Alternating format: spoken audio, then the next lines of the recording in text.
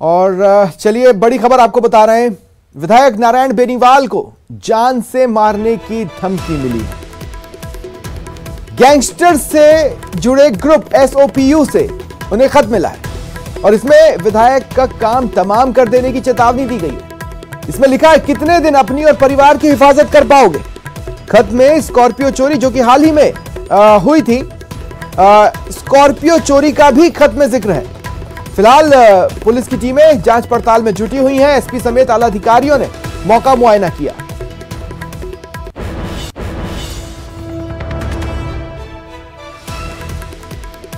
और देखिए, विधायक नारायण बेनीवाल से खास बातचीत की। सहयोगी महेंद्र बिश्नोई ने। को जो धमकी मिली है, उसके बारे में अनुसंधान किया जा रहा है।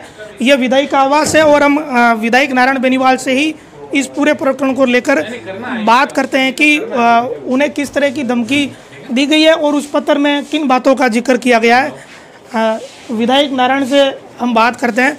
सर, किस तरह की धमकी आपको मिली इस पूरे में? देखिए, अभी सत्रह तारीख को मेरी गाड़ी जो जयपुर विवेक विहार के पास मेरा बेटा फ्लैट पर किराए पर रहता है, वहाँ से गाड़ी मेरी चोरी हो गई थी। और उसके बाद अट्ठारह तारीख को सुबह वो गाड़ी बोरुंदा के अंदर मिली है। तो आज सुबह जब मेरा जो यहाँ सेवादार जो है, वो जब जग के बाहर गया और उसने देखा कि घर के पोर्च के अंदर एक सफ़ेद लिफाफा पड़ा है तो उसने ला के मेरे यहाँ रख दिया। फिर मेरा जब पी है, जब काम पे यहाँ लौटा दस बजे, तब उन्होंने जब ये खोला तो इसके अंदर ये लिखा है कि, मिस्टर बेनीवाल, गाड़ी गायब होने वाले दिन से तुम्हारा उल्टा समय चालू हो गया है। अब अगर बच सको तो बच लेना। जल्दी काम तमाम करेंगे। देखते हैं अब कितने दिन तुम और अपनी और अपने परिवार की हिफाजत कर पाते हो। और नीचे लिखा जय सोपू। इसके बाद मैंने यहाँ के एसपी साहब से भी बात की एडिशनल साहब से भी बात की, और हमारे सुप्रीमो हनुमान जी को भी पूरे प्रकरण से अवगत कराया उन्होंने भी उच्चाधिकारियों से बात की है। एसपी साहब एडिशनल एसपी साहब और पूरा जो सिस्टम जो है पुलिस का, अभी घर पे भी आए थे, और अभी आगे की कार्रवाई जो भी है उचित कानूनी कार्रवाई हम लोग करेंगे। लेकिन प्रदेश के हालात जो है, वो दिन ब दिन कहीं ना कहीं हम सब के लिए चिंता वाली बात है। बाकी काम पुलिस करेगी। नागौर की पुलिस को मैं धन्यवाद दूँगा कि सूचना के अंदर त्वरित कार्रवाई करते हुए, इन्होंने ये फुटेज भी खंगाले हैं। या मौके पर सब एसपी साहब और एडिशनल एसपी वगैरह सब जो हैं, वो ये आए थे।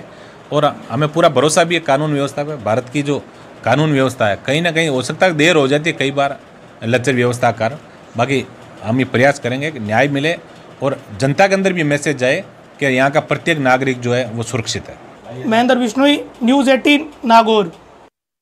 ज़्यादा जानकारी दे रहे हैं हमारे सहयोगी महेंद्र बिश्नोई लोकतांत्रिक पार्टी के खियूसर से विधायक नारायण बेनीवाल को धमकी से भरा हुआ पत्थर मिलने के मामले में इस पत्थर में जिस संगठन का ज़िक्र है उसे लेकर पुलिस ने इस मामले को बेहद गंभीरता से लिया है। धमकी भरा पत्थर छोड़ने के साथ ही इस पत्थर में नीचे जे सोपू लिखा हुआ है।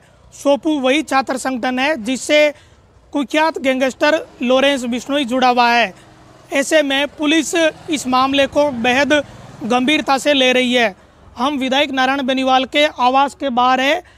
यहाँ जो विधायक का आवास है, इसके मुख्य दरवाजे के ठीक पास में अंदर की तरफ़ इसी तरह का लेटर छोड़ के कोई गया हुआ था, जिसमें ये धमकी लिखी हुई थी। इस धमकी में बाकायदा सारी बातों का ज़िक्र किया गया है, जो विधायक के जयपुर स्थित आवास से गाड़ी चोरी हुई थी, उसका ज़िक्र इन्होंने किया है। इसके साथ ही, ये भी ज़िक्र किया है कि तुम्हारा उल्टा समय चालू हो चुका है। नीचे जय सोपू लिखा हुआ है। सोपू छात्र संगठन है और इससे लॉरेंस बिश्नोई जुड़ा हुआ है। लॉरेंस बिश्नोई इन दिनों इसलिए चर्चा में है क्योंकि उसका सिद्धू मूसेवाला की हत्या के मामले में नाम आया और पंजाब पुलिस ने उसे ट्रांजिस्ट रिमांड पर लिया था। अब सोपू का नागौर में क्या अस्तित्व है और इस संगठन से जुड़े हुए लोग या लॉरेंस बिश्नोई की गैंग से जुड़े हुए लोग नागौर में है या नहीं है, या फिर लॉरेंस से जुड़े हुए कितने लोग नागौर में हैं और वो यहाँ किस तरह की गतिविधियों का संचालन करते हैं, उन सभी बातों को लेकर पुलिस ने अपना अनुसंधान शुरू कर दिया है।